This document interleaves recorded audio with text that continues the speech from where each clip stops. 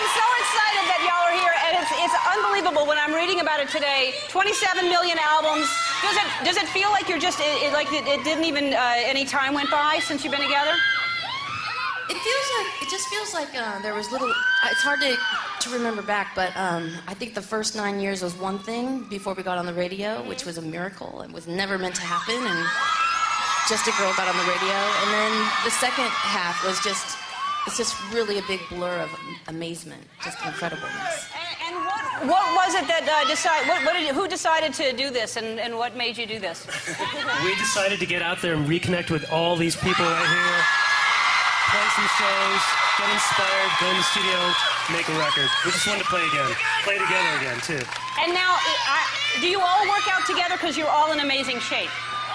You know what? Uh, we do work out together, and it's actually like a peer pressure situation because we have Adrian here. Yeah, look at Who, that. I look at him every day and I think I got to run some more. Yeah.